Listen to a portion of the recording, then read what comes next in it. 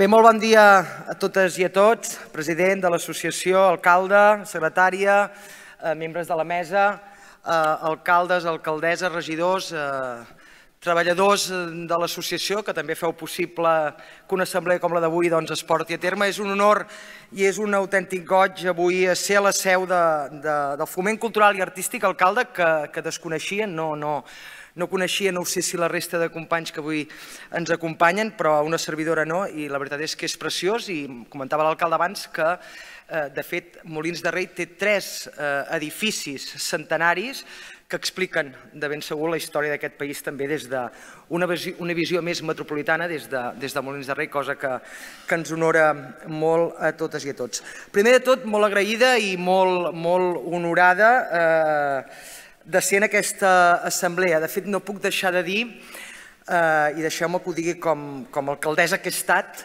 eh, perquè això, diguéssim, no s'oblida. Jo sempre dic, quan faig eh, algun acte d'aquests, sabeu que ens fan fer, a vegades ens fan fer actes de partit per presentar candidats, candidates de, de les corresponents organitzacions i sempre explico que he tingut l'honor i, i, i la sort, evidentment, de, de ser consellera de, del país, però també alcaldessa i en un període una mica més curt de temps diputada a, a les Corts Espanyoles.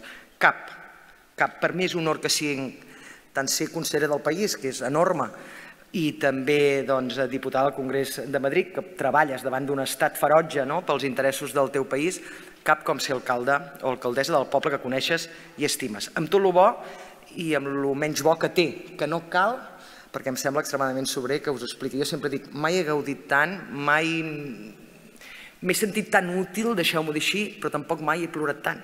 Eh? No sé si us passa, perquè és aquell punt d'aquelles decisions eh, que en un moment donat has de prendre sol, per més companys, per més bon equip, per més regidors que t'acompanyin, hi ha decisions que en un moment s'han de prendre. És dir, que tot el coratge per la feina que feu.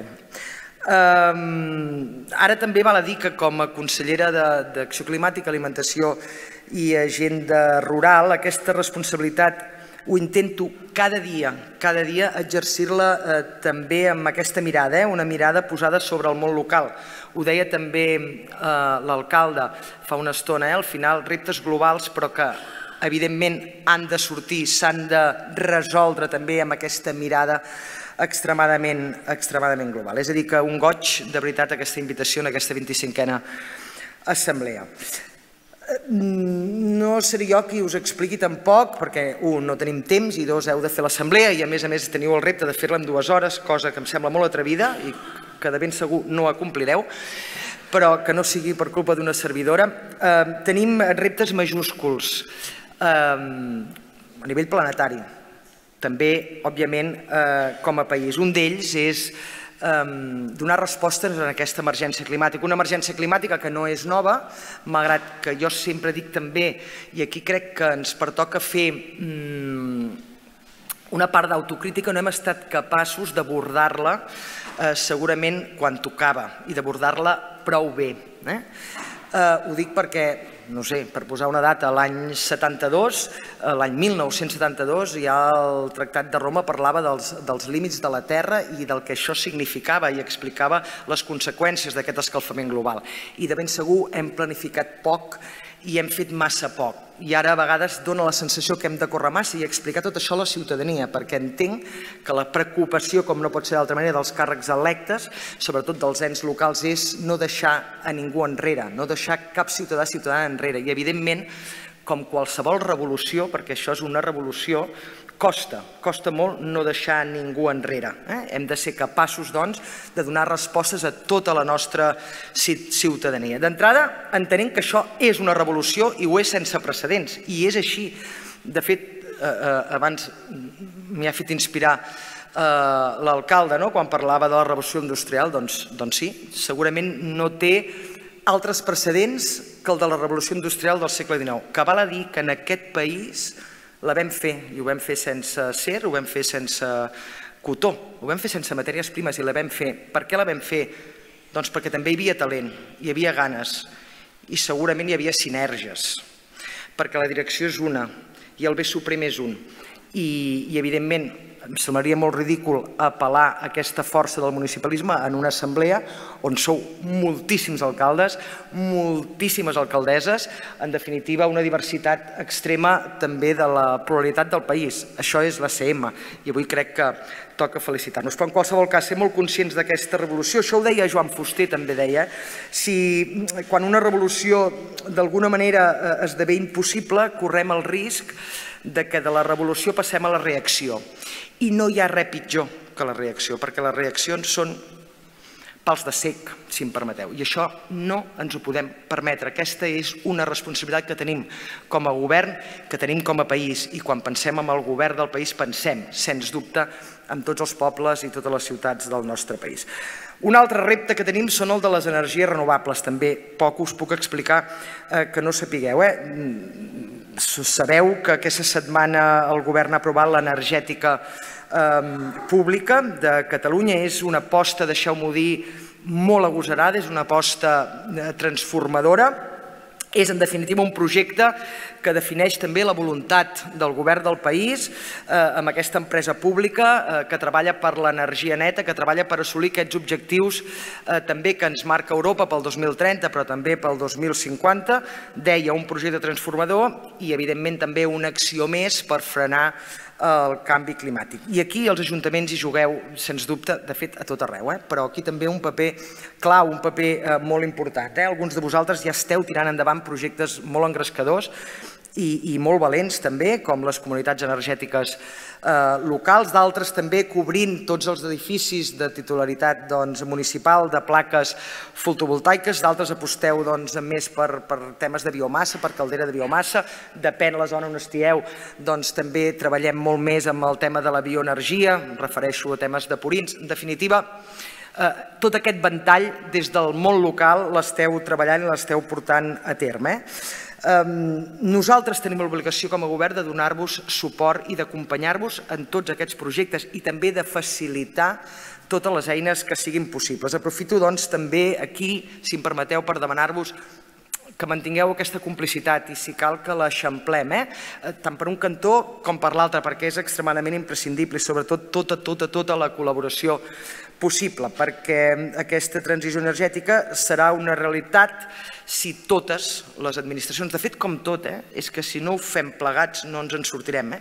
Serà una realitat, deia, tota aquesta transició energètica si les administracions públiques caminem doncs, doncs plegades, eh? si fem aquest camí de la mà amb, amb compromís i responsabilitat.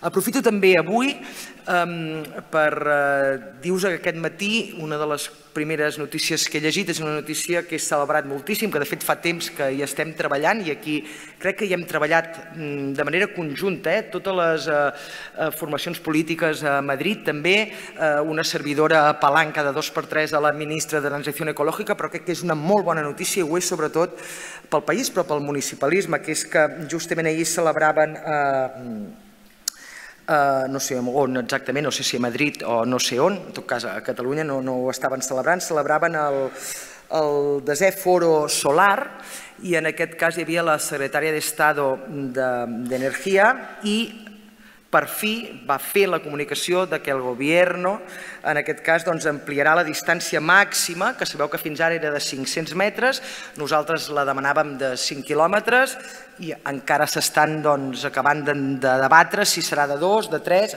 en qualsevol cas, mínim serà de 2 quilòmetres i això ens obre un ventall per tot el tema d'autoconsum compartit extremadament interessant, entre moltes altres coses, no només pels megawatts que posem a xarxa, sinó entre moltes altres coses pel que començava dient, que és el que preocupa els alcaldes i alcaldesses, el que us preocupa a vosaltres i també, òbviament, a una servidora i al govern del país, que és no deixar ningú enrere, donar resposta als ciutadans i ciutadanes, sobretot aquells més vulnerables i aquells que més pateixen.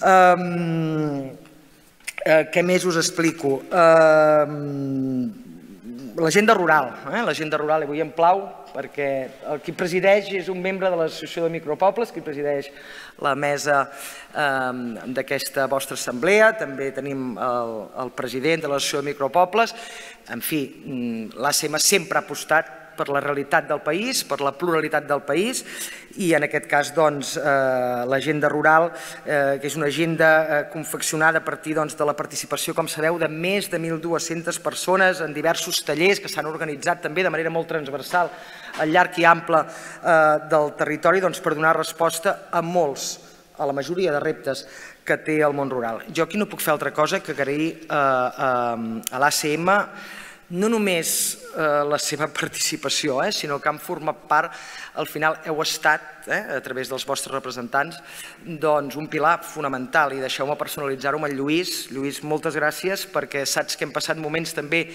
complicats perquè les coses costen, però crec que ens n'hem sortit i tenim un document fantàstic, tenim una agenda rural de país que ara, òbviament, hem de portar a la pràctica. I és transversal, i és de tothom, perquè bàsicament ha començat de baix a dalt. I aquí doncs, agraeixo també a Micropobles, agraeixo òbviament a vosaltres, a l'Assemblea i Arca, que hi han treballat d'una manera incansable sota el paraigua també dels objectius de desenvolupament sostenible, del CATS, i crec que la feina és, és, és molt bona. Eh? També fa poques setmanes eh, vam presentar amb la consellera Vilagrà eh, molts de vosaltres hi éreu, eh, a Castellserà, doncs l'aposta, una aposta decidida pel municipalisme rural. Eh? En aquest sentit, el departament també està integrat, el departament que tinc l'honor d'encapçalar està integrat també en el grup de, de treball de la redacció i el debat de l'Estatut dels municipis rurals. Ja era hora, ja era hora. Eh? Ho hem de tocar i ho hem de tocar aviat perquè no tenim més temps, és evident. No podem concebre el país de la mateixa manera. No tots els pobles i les nostres ciutats són iguals. És més, no tots els pobles o petits pobles són iguals. I aquesta diversitat és la que ens ha fet rics i aquesta diversitat és la que ens ha donat aquest talent per abraçar els grans reptes. Ho vam fer al segle XIX, sens dubte, convençuda que també ho farem ara. Un estatut que vol ser el marc legal, segur que ho heu eh, discutit, que ho heu treballat, que ho heu parlat, el marc legal de referència dels municipis rurals per afavorir, doncs, evidentment, doncs que la gent pugui quedar-se allà on vol desenvolupar el seu projecte de vida. No hi ha més. No parlem ni de despoblament ni de repoblament. Senzillament que qualsevol família que ha decidit desenvolupar el seu projecte de vida en un indret, pel que sigui, perquè el coneix, perquè l'estima, perquè li dona la gana, pugui fer-ho, pugui guanyar-se la vida treballant i, i, i estimant eh, aquest indret. Eh? Jo crec que aquest estatut pot marcar un punt d'inflexió, de fet, no crec, ha de marcar, ha de ser un punt d'inflexió pels municipis rurals i de rectuc també pel país sencer, pel país sencer, perquè som vasos comunicants i, i, i evidentment ens necessitem i per aquest motiu també cal que la major part del territori, que és rural, avui se'ns recordava, la primera frase, està molt bé que això sempre ho recordem, pugui viure plenament dels seus recursos i en el seu, i en el seu lloc. Aquesta és la vocació. No?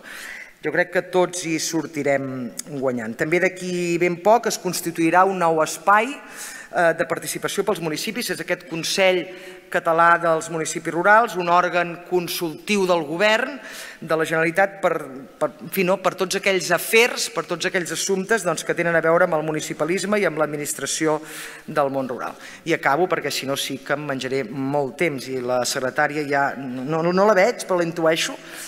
Um, en definitiva, mm, compromesos i, i ho dic de veritat en nom del govern, de tot el govern, que s'entengui, de tot el govern, compromès amb el municipalisme i no és un compromís de paraula, sinó és un compromís de fets i el moviment sempre es demostra caminant. Jo sóc de les convençudes de que tot, absolutament tot, tots els reptes que tinguem com a país, tots ells comencen i acaben a les nostres places, als nostres barris, als nostres carrers. Eh, I el que hem de fer és fer-ho bategar i fer-ho bategar amb força. Eh, res millor, en definitiva, eh, que treballar pel poble que estimeu i pel poble que coneixeu. És a dir, que amb molta feina, molta força a disposar al vostre costat i enhorabona, president, per omplir cada vegada més aquesta associació perquè el país, val a dir, també la necessita. Gràcies i molt bon dia.